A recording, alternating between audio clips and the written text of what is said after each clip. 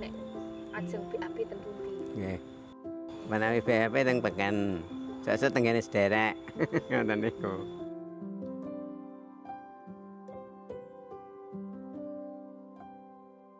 Tuyane mendhet ngandhap niku, Bu. Anu. Sing terakhir ning pertama keng jumur ler mriko.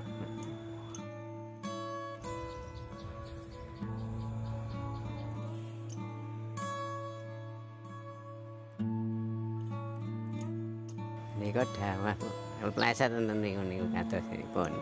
Pas nopo? Pas mendhet toya nggih. Ngidam galon niku.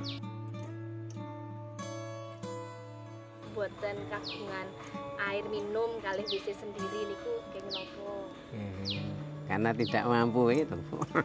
Ya, ya. Sehari-hari kerja saya pijet, Bu. Seminggu ya sing sok sing gangsal sok sing kanton priyantune, Bu. Ya. Pertama saya datang ke sini saya pakai air sumur.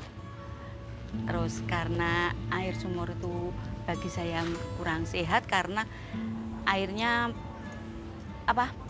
banyak mengandung zat kapur. Saat akhir tahun kemarin kita mendapat bantuan dari swasta, ada CSR nggih membantu kami itu bisa terrealisasi 10 jamban dan sepitengnya nggih. Sepitengnya uh, sudah SN yang dari Yusit Aibos Tangguh diajarkan kepada kami KSM Giri Purwo.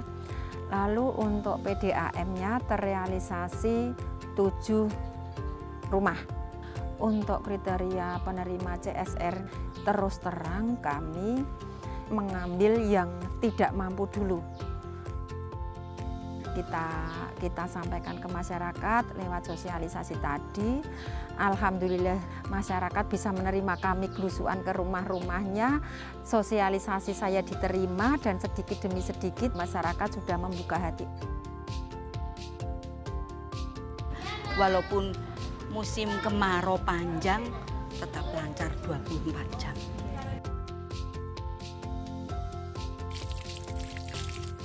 Dan iki toyane nggih PDAM niki Bu, kalih WC-ne nggih niku nggih.